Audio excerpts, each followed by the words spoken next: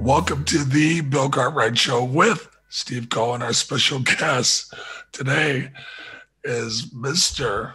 Stan Goldstein. Stan, welcome to the show. Thank you, Bill. Pleasure to be on. I've listened to quite a few of them, and uh, I'm honored to be a guest.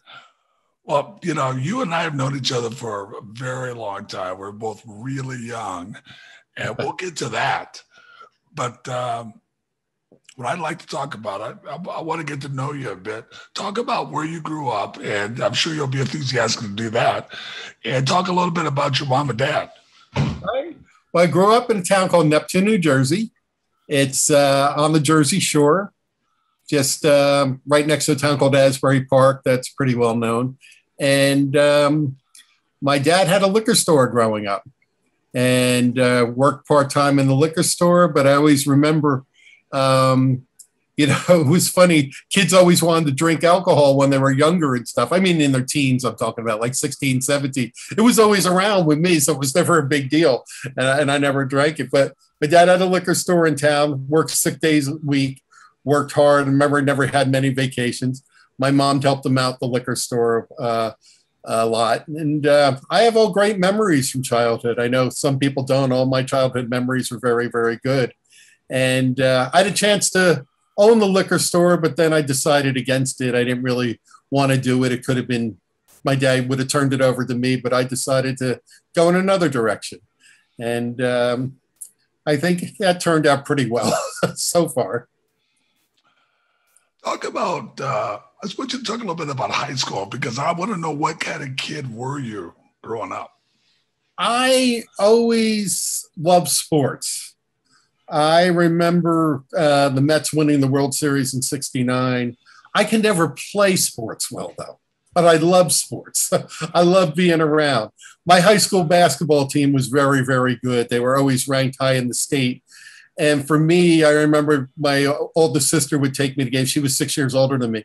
And for me, when I was about 12, I would go to Neptune High School basketball games. And to me, that was like seeing the Knicks. I got the guys' autographs and everything. I mean, they they they were that was such a thrill to me that I was like around them and everything. And uh, but I, I love sports. Um, I was always a pretty good student. I always loved newspapers. I always back then they always said you could have like the New York newspapers delivered to you in class, and I always people always remember I always had a newspaper on my desk reading and everything all the time. The teachers probably weren't too happy as I was probably thumbing through a newspaper and not paying attention to class. But uh, when I got to high school, like I said, I was never good enough to play sports, but I loved being around it. So I became the statistician for the soccer team in the fall, the basketball team in the winter, and then the baseball team in the uh, spring. So I got three letters every year, but I never played a sport, but I did get three varsity letters and had my varsity jacket and everything. I was real proud, you know. so I always love of sports. Uh, you're leaving high school talk about your college decision, and I want you to talk about uh, you basically your college experience. I lo- love sports. I found out um, in what guy I went to high school with that you, you were familiar with. Actually, I didn't go to high school with him. He was uh, with my oldest six, sister. He was six years older than me. A guy by the name of Bill King. He became the PR director of the Milwaukee Bucks. And that sort of hit me like, wow, if someone from my high school got a job in the NBA, it's possible I could get a job in the NBA or work, you know, go go into pro sports that way. And when I was a senior in high school, I found St. John's University in Queens, New York, had an athletic administration program. And I went up, that was the only school I visited, talked to them, and got accepted right away. I think I got accepted of October that year. So I already had my plans. I wanted to go there and I didn't know too much about the school. I knew Lou Carnesecca and they were a very good basketball team. And um, so I went, I went to New York and uh, Queens had my car broken into my first week there. So they finally stole it my junior year, but that's another story. But uh, I majored in athletic administration and um, had a great four years there. Um, was I didn't I didn't be, become a statistician with the basketball team or a manager uh, with any of the sports there, but I went to the school newspaper and I was the sports editor there for a few years. So I got to travel with the men's basketball team with Lou Carnesecca, who was great. And um, then I covered baseball too. Frank Viola, who later pitched for the Minnesota Twins and the Mets, and John Franco, who pitched for the Mets. They were they were uh, at St. John's with me. And Chris Mullin was a freshman my senior year. So I, I had a great experience at uh, St. John's. I had a real good time. I, I, I, gotta ask, talk about your best basketball year that you watched when you were there. Wow. Um, probably would have been my sophomore year. St. John's was ranked as high as number seven, I believe. And one of your uh, former teammates, Reggie Carter, was the leading senior on that team. And there was, I'll never forget, we had a great Saturday afternoon basketball game in February. It was on NBC against Syracuse, and they were our big rival. And Syracuse was number two in the country, St. John's was number seven. And St. John's was up by one and had a one on one with seven seconds left. The guy named Bernard Rencher missed the free throw. And then a guy I would get to know, and you still know very well, Louis Orr goes down the court for Syracuse puts a layup in with no time left on the clock, although as he smashes into Reggie Carter, they called the foul on Reggie Carter. And uh, Syracuse won by one. But all my years with the Knicks, I always called Louis, and I still will to this day if I see a Mr. Offensive foul. It was sort of a joke we had. But they had some great teams at, at St. John's. It was always great being around Lou Carnesecca. He always had great quotes and everything. And I'll say this I, you know, I was I was in college, and he was always very patient with me because I'm sure some of the questions I asked were very dumb questions. You know, he was around the New York media, but here I was, college kid. But he always was very patient and was always very nice. And I'll never forget, I um, wanted to set an interview up with him to write about one of the years, uh, the preseason. We did a big feature, and I went over to the office, and his secretary says, "Oh, we can talk to you right now." I was like, oh, right now. I wasn't even prepared. I was like walk in, but as nice as could be, very friendly, asked questions about me, where I was from. And uh, no, St. John's had some great experiences there. Saw some great basketball. It was when the Big East was first starting. And it was, um, I was there right at the start of the Big East, was at the first Big East tournaments and everything. And even before Patrick Ewing and then Chris Mullin sort of became the big names. But it, it was a lot of fun. He did he lend you any sweaters? that was right after I got out. That was the uh, 85 season with the sweater. That's amazing how that took off. really quite, quite there. it was quite something, Louis. Okay, you're about to leave St. John's. Talk about your first job. Well, my first job, actually, I always uh, like newspapers, as I was saying. So, my senior year of high school, which would have been 1977, 78, I used, as I said, I was like the statistician and manager for the sports teams. And part of the job was we would call in the scores to the local newspaper, to the Asbury Park Press, and give the report, you know, whether it was basketball, giving the box score, who had so many points, and all that. And I had done that my sophomore and junior years. And my senior year, September 1977, uh, I guess they liked me because they said, You do good. We'd like you to come work for us. And this was the Asbury Park Press. And I was thrilled. I mean, here I am going to my senior high school, and the local newspaper wants me to work for them for a big two dollars an hour. so, but I, I, you know, I was thrilled. I was gaining experience with a daily newspaper. I don't know where I had the energy and time to do all this. As I look back now, because I was still going to school, I was still involved with the sports teams, and somehow I was working just about every night of the week and weekends with them but I always had a love for newspapers and writing and, and getting, hey, getting to go to games and getting paid for it was thrilling. And um, I worked for the Asbury Park Press my uh, all through college too, through uh, all the summers uh, I was at St. John's, and then finally my senior year at St. John's, they had internship programs, and this would have been this January of 1982. I interned with the Knicks and that's where I probably first met you when I started there in the PR department. And uh, you know, I was thrilled because as a kid, I you know, and, and, it actually wasn't that long ago. As I look back now, I mean, it was 1982, so it was just about 12 years earlier. The Knicks had won the championship. Willis Reed, Walt Frazier, and all of a sudden, I was I was there. Red Holzman was still the coach, and it, it was quite thrilled to be around there. So, talk about your first year uh, working for the Knicks because you had to move, you had to live, or did you live in Manhattan? What, Uh, how, I- did you, I- how did you make that transition? I took the train every day. There's a North Jersey coastline here from the Jersey Shore, goes right into Penn Station in New York. You know, one advantage of working at Madison Square Garden, you're right above the train station. So where others in Manhattan would have to go another 20 minutes to half hour by subway, I just walked upstairs, which is brilliant. So I, I started as an intern. It was um, the 1981-82 season, which uh, wasn't one of the better ones for the Knicks, but that was you and Michael Ray Richardson and uh, I think Maurice Lucas was there that year, and, and they and um, I think they brought Paul Westphal in. And I, I, I, will always remember this. You'll remember the guy. His name was John Hewitt. He was the PR director, and I was the intern. And I, I was just like again thrilled to be part of this. Even though I wanted to do a great job, I still had stars in my eyes. Like, wow, I'm with the Knicks. I'm in the NBA, and they had signed Paul Westphal to a contract. So John Hewitt invited me to go to Smith and Wollensky Steakhouse with Paul Westphal and two writers, Nat Gottlieb and Tom Greer. Nat Gottlieb was with the Newark Star Ledger. Tom Greer was with the New York Daily News. And we're at the steakhouse. It's just this one, two, three, five of us. And I'm like, you know, I realize this is what expense reports are that John Hewitt is taking us out to this very expensive steakhouse in New York. And here I am sitting with the newest Knick and two of the reporters and uh, having a great steak. And it's all being paid for. And I'm like, I can enjoy this life. I think I could like this life very much.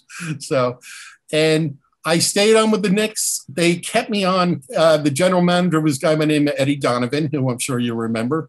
And he liked me and he said, I think I may have a job for you. Because the internship was only supposed to go to like January to May, when the season was over early April. And he said, I, I may have a job for you. I'm looking for an assistant. So I was like, yeah, that sounds good to me. And you asked about did I live in Manhattan? No, they were paying me $150 a week. so, and even in, even almost 40 years ago, that wasn't getting you anything in Manhattan. It wasn't getting you anything in Jersey either. So I still lived at home the whole time. And um, then, then uh, I remember I was supposed to only be on for a month. And that month went by and no one said anything to me. So I kept coming to work and they kept paying me. it wasn't it wasn't until a guy you'll remember Mel Wall he was the big uh, finance guy there. He said they've been paying you this whole time? He goes yeah. He goes we have to make you full time then. So the next year they made me a full time employee. I think that was uh 1982 83 season or 83 84 season. So that was really thrilling for me. And I, I just remember coming up in into Manhattan every day and uh, taking the train in and it thrilled me. I remember just walking through the doors, Madison Square Garden. It was like, I don't know if you as a player, for me, it was like, oh my God, I'm working at Madison Square Garden. I'm 22 years old. I'm working at Madison Square Garden. This is such a thrill.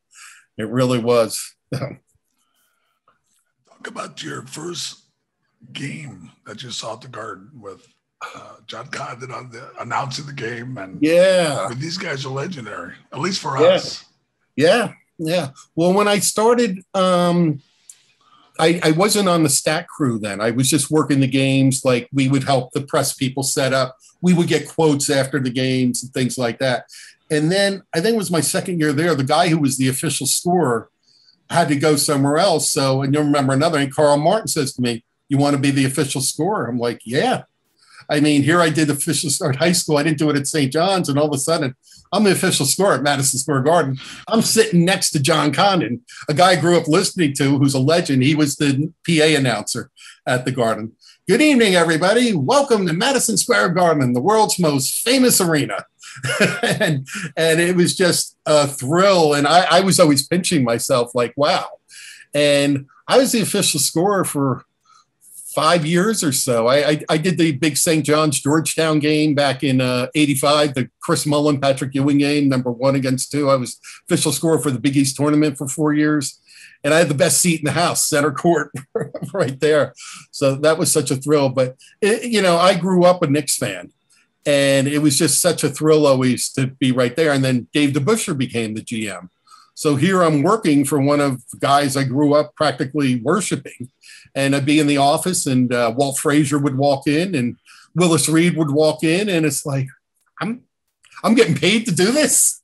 Not much, but still, I'm getting paid to do this. This this is this is something. This is a lot of fun, and I and I, and I think as you know, I got along with most of the players too.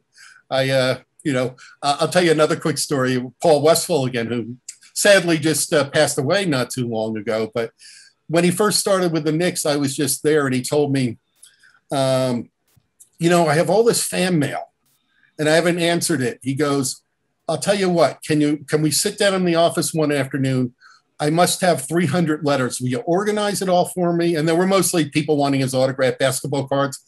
And he says, um, organize it all for me and we'll sit down and I'm going to sign every single card. I want you to put them in the envelopes and mail them back to the people. So we sat there and like, I'm, I'm a guy always collected autographs.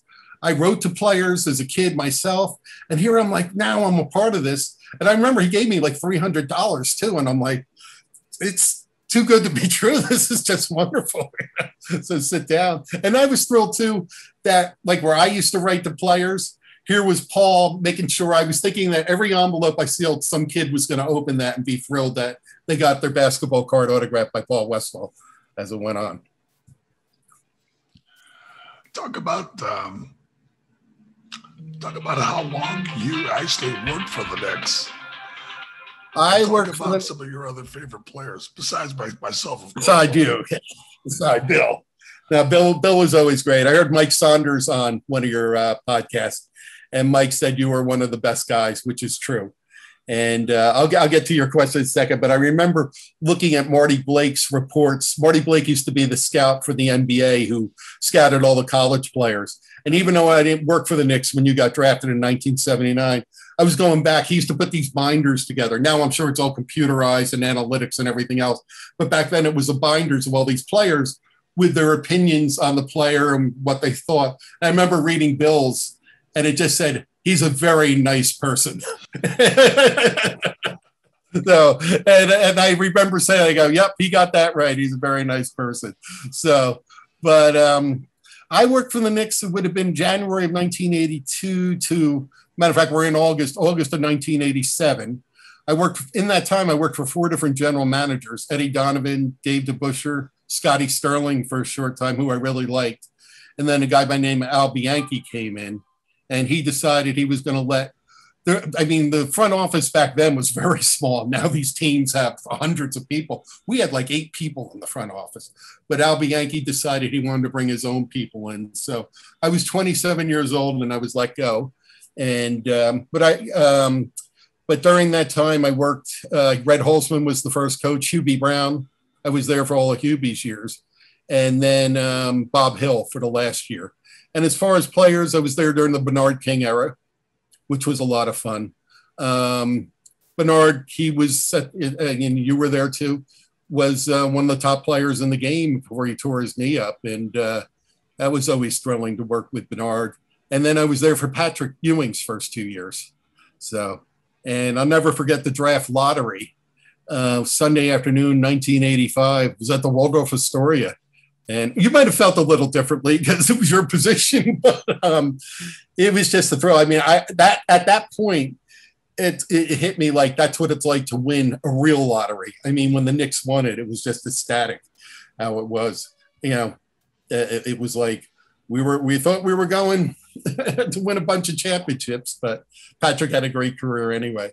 But I like Patrick. I, I always got along with him. I got along with most of the guys, and. Uh, Rory Sparrow very very well.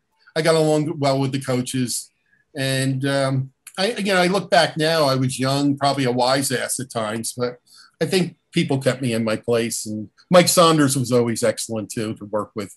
Uh, Mike was the trainer of the Knicks, and he, he Mike taught me a lot. Matter of fact, I started traveling with the team my last year there, and Mike said, I don't care, triple confirm buses and everything. They may think you're the biggest pain in the neck, but you know what? You're going to get it right. And there's never going to be a problem. And I'll never forget that. He, he taught me that. And Bill, you were always great too. You were always wonderful. I may have snuck you some extra tickets at times. yeah, I, I knew what I was doing. Yeah. yeah, I, I got to handle the tickets. That, that was one thing. Like, here I am, 23, 24 years old, and Eddie Donovan says, You're going to handle all the tickets now, which meant I handled all the player tickets. So I organized them, and then if players needed extra tickets or something like that, I worked it out. And uh, before you played with Michael Michael Jordan in Chicago, when Michael his first few years came in with the Bulls, he always needed like because it was New York, twenty different tickets, and this would have been his first two or three years in the league. And when the Bulls were in New York, I would always sit down with Michael before the game and his I knew someone who worked for his agent very well, and they would all arrange it. And he paid he paid for everything too. It wasn't anything free. But I would always sit down with Michael with like a 20 different tickets and say, all right, these are your two best ones. Your top people go here. And uh, just go in like a private room with them at, by the dressing rooms and sort it all out. And uh, yep, gave me one of his, his pair of Air Jordans after a game and signed them to me too. And I sold them to someone back then, and big regret now. huge. Yes. Hey, hey, Stan, talk about uh, what was it like for you? Uh, because this was uh, something that's big now. All the celebrities in the stands. That that was always fun, and handling the tickets, I would get calls too. I remember getting a call from Elliott Gould, from Pearl Bailey, from Peter Falk, and that was always thrilling to look around and see who who was at the games and uh, Woody Allen was there all the time. Dustin, oh, Dustin Hoffman was there. Dustin Hoffman was another one who called. I got to get know his personal assistant real well. And I remember they invited me to a premiere and everything. Like I said, this is, I might not have been making a lot of money, but I was living this New York City lifestyle and stuff. So I, I get invited to a premiere of one of Dustin's movies. And I helped him get tickets for his kids to Sesame Street Live, which was playing at what was then called the Felt Forum at the Garden. And that was always, I remember Bill Cosby was always around our games too. And then I remember one night looking up and there's Jack Nicholson and Diane Keaton sitting together. My biggest thrill though of them all, and I was the official scorer, but I just turned around and looked and there was Cindy, Sidney Poitier and Harry Belafonte sitting together right up, uh, right up above the tunnel. And that was like, wow, that, that hit me as something. Bob Dylan was at one of our games, I remember too. He was sitting there with Bill Graham, the promoter from San Francisco. They were sitting there. When the guys go, I think that's Bob Dylan. I go, yeah, that's Bob Dylan.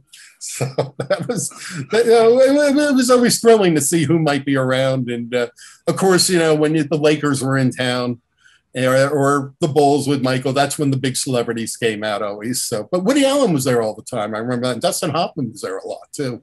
John McEnroe was around a lot, always. Yeah, I could definitely remember a lot of the. Uh, not that we had an opportunity to uh, talk to anybody, but uh, there was usually somebody around, whether they were uh, an actor, actress, uh, athlete. Mm. So it was really impressive. Yeah, yeah. And I, I mean, I remember handling the tickets for a lot of them too, and it was, uh, yeah. I'll, I'll even give you another. This is an NBA player story. Yeah, the Lakers only came in once a year, and Kareem was looking for. He, he said, "I, who can I talk to? I need a real good seat behind our bench." And I happened to have one in my pocket, and someone put him to me. And I know he was one of your idols, and like you know Kareem Abdul-Jabbar. it's like he comes to me and says, "Oh, I'm, I hear you can help me out," and I'm like, "Yeah," and I'm like, I don't like again. I'm just thrilled to be doing this. And he had an autobiography out. I said, "Sure, I'll give you the ticket. Will you sign your book for me?" He goes, "Absolutely, I'd be thrilled to." So he signed his book and for Stan Kareem Abdul-Jabbar and uh, gave him a ticket to, to use for uh, right behind. But you know, again, and I remember Magic Johnson even. He's like, "Here, can."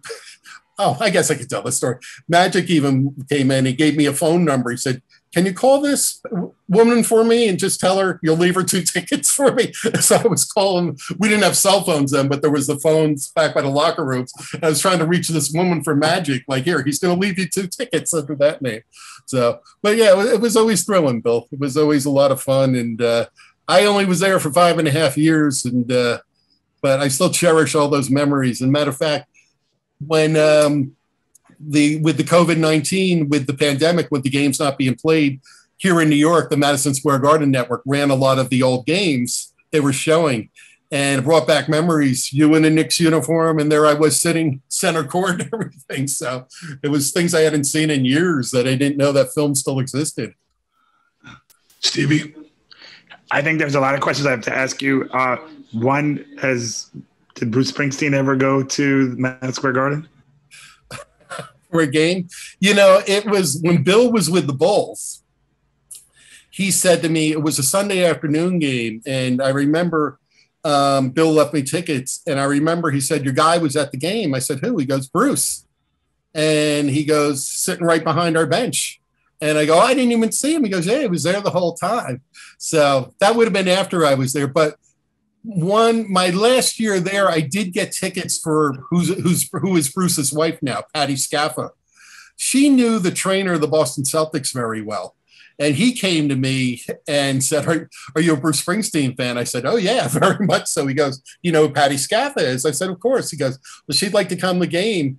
And again i had some tickets in the pocket and uh, she was front row behind uh, right off the court. She came to a game one night and uh, so that was fun, but never Bruce himself. But that would have been something. And I guess I'm jumping the gun because I know you are a big Bruce Springsteen fan.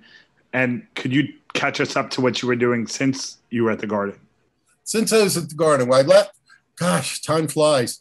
So I left the Garden in '87, and I went back into newspapers. I worked for the Asbury Park Press, and over the last um, Which that time, of Springsteen's hometown. Yes, Yes, Asbury Park. Yeah, it's Freehold is his hometown, but this is his whole the whole area I'm from is Springsteen crazy. So, and I've always I always liked Bruce, and I'll, get into that in a little bit, um, sort of what I do with that. But I went back to work for newspapers. I worked for Asbury Park Press. I worked for another newspaper, the Home News Tribune. Then, sort of, I got called up to the big leagues. The big paper here in New Jersey called the Newark Star Ledger actually came after me in 1999 and offered me a job for a lot more money I was making. And it was almost like, not that the others were AAA, I'm not saying that at all, but it was also like a jump from AAA to the big leagues. And it was like, wow, making really good money here. And uh, I worked there for 19 years.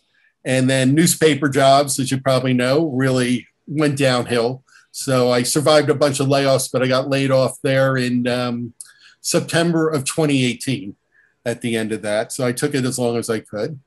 And now I work for um, magazines that cover the funeral service industry. yeah. American Funeral Director magazine and American Cemetery and Cremation magazine. Matter of fact, I was just in a convention last week in Dallas uh, for funeral directors. And Bill, I showed you, I met Drew Pearson of the Cowboys was at this convention. So that was a yeah, lot of fun. Yeah, some, somehow I feel like there's some kind of a joke in this, but I'll just leave it alone. People people are dying to get into that publication. yeah. Well, well, yeah, we're, we're trade magazines, but what you learn is, um, you know, you know, everyone has dealt with funeral directors at one time or other, unfortunately, but they're there, and you know, we there's a lot of interesting stories there. We do features on uh, famous funerals and things like that. I wrote about Kobe Bryant's funeral service. I wrote about Hank Aaron's funeral service, just all the pageantry that's involved with it and things, and the prayers and the people who show up. So yeah, it's been interesting. Sports too. but I also, but I also think that a lot of rabid sports fans have interesting funerals, right? They want to be yeah.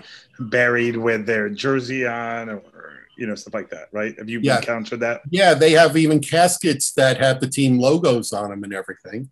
And then they'll even want the theme song played, or they want everyone to show up in uh, the team's uniforms. I wrote a story on it was a dog, a mascot for the Cleveland Browns died and a funeral home in the Cleveland area had a special pet funeral for him. And all these Cleveland Brown fans showed up wearing their brown jerseys and everything. So there's a lot of interesting stories there. And um, and cemeteries too are very welcoming to people, especially during the pandemic. Uh, they're like parks. Go through, enjoy them. There's beautiful artwork and beautiful sculptures throughout. And uh, a lot of cemeteries are very welcoming to people. Like, come visit us, and uh, not even so much for the grave, just see what we have here: fountains and lakes, and have a picnic here. I do want to change gears here for a second, and um, let's talk about this. One thing that you were doing that I thought was interesting that you did since you love Bruce. We shouldn't say you like Bruce. You love Bruce, but you you did a, a, a Bruce tour uh, that I thought was really interesting and curious. Yeah. I've always been a tourist myself. I love seeing places. Um, whenever I visit somewhere, I like to go tour on tours and, and just see different things. I, I, as I said, I live at the Jersey Shore, which is the heart of Bruce Springsteen land. And there's places here that Bruce has written about in songs, that sings about in songs, that still mentions. You mentioned you mentioned Asbury Park. His first album was Greetings from Asbury Park. Uh, he has a song Sandy where he talks about a fortune teller called Madame Marie. There's a bar here called the Stone Pony, which you may have heard of, which is one of the most famous bars in the world.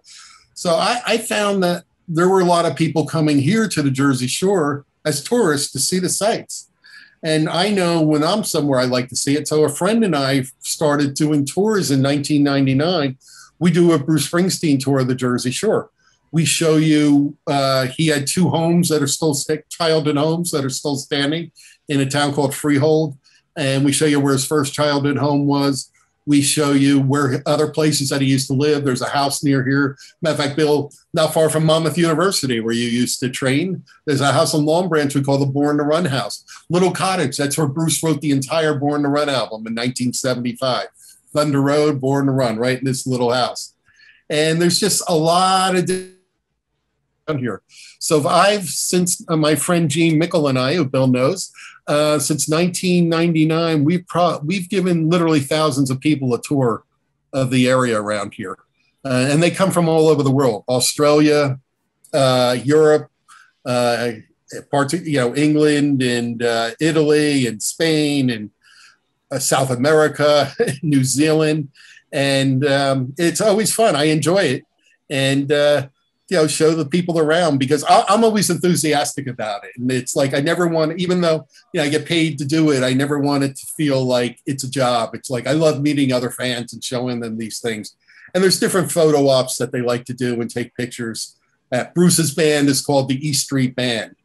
And he has a song called 10th avenue freeze out.